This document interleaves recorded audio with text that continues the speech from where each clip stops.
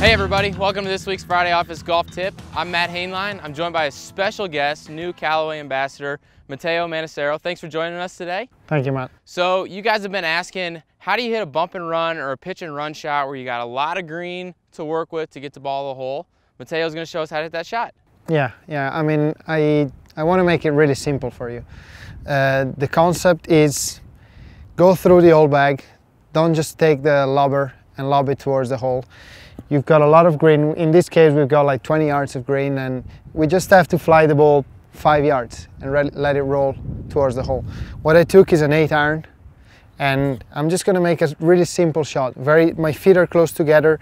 I'm just thinking of where I have to bounce the ball on the green and it's probably a yard inside the green and then it's gonna do everything by, by itself. I'm gonna put the, the feet close together as I said and you know I don't forward press I just I just take a, a very relaxed position and all I do is a back and forth pretty straight and just concentrate on putting a good contact.